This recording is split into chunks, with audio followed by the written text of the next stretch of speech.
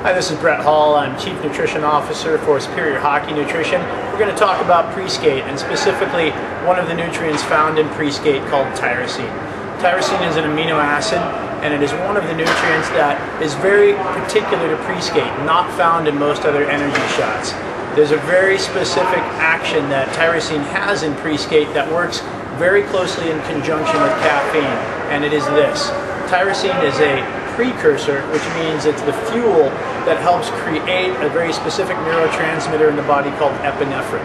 Now, epinephrine is a very powerful neurotransmitter in the body. You may recognize it as adrenaline, and that's what it is. And what this does in the body is it actually comes in and it creates more of that neurotransmitter, which then has a few different effects. And that is one, it helps increase muscle fiber recruitment and firing rate, so you get faster, harder contractions, faster, harder hits and speed. The second is those neurotransmitters are also very integral in your thought processes, so it actually helps get your mind focused more. And there's been university research done and military research done showing that during physical stress and duress, using tyrosine in a product and feeding it to somebody can help keep them sharp and actually keep them awake longer and, and really mentally focused.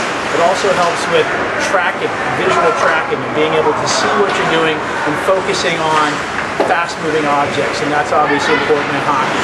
The next thing it does is it actually increases the ability of your body to use fuel properly in the muscle cells, so enhancing the level and efficiency of fuel utilization in the body.